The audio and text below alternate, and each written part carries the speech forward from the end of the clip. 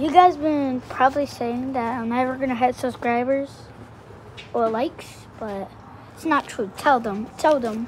He has all the subscribers and likes, more than you. Actually, that's not true. I don't have any.